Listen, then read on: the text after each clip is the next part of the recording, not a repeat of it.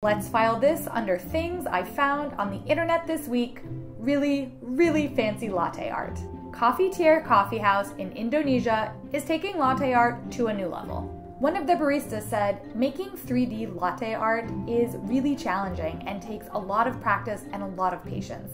I found out that it can take up to 15 minutes to make one of these, which, for me at least, begs the question wouldn't your coffee be cold by the time it arrived?